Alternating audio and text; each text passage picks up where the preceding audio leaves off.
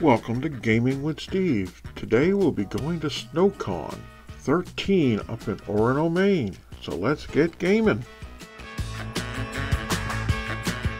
And here we are on Friday night, arriving at the Black Bear Inn up in Orono, where the SnowCon 13 convention will be held. We had a great meal at the China Garden, which was kind of unique, is that the owner came out and said, do you trust me? And then literally said, let me decide what you have, and made an amazing uh, entree and main and uh, appetizer for us, and it was delicious. I would definitely recommend checking out China Garden if you're ever up in the Orono, Orono area. The next morning we signed in the registration and then checked out the SnowCon gaming area. Here is the open board gaming area. And there were several vendors on hand as well. Let's get gaming.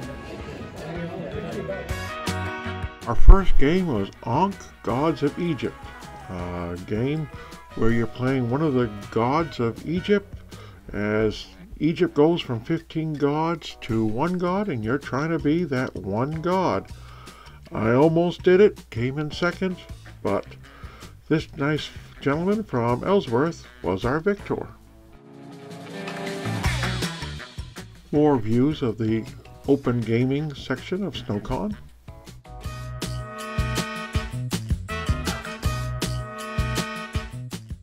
For lunch, we went to the famous Pat's Pizza in Orono. It's the original Pat's Pizza, and the pizza was delicious.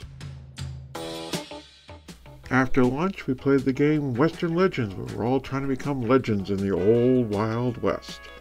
I almost won, missed by one point.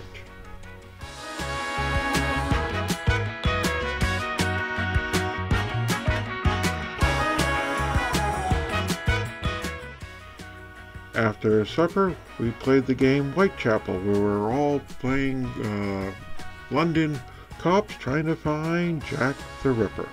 We didn't find him.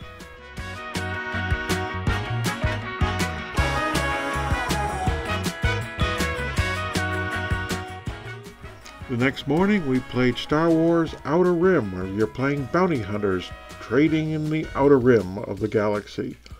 Um, I had an interesting combination on my ship where I somehow convinced Ahsoka and Boba Fett to work together, and it was successful for me as I emerged victorious. Here are views of the uh, scheduled gaming section at SnowCon.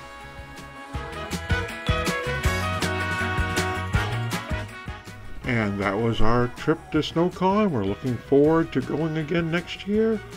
But for now, happy gaming!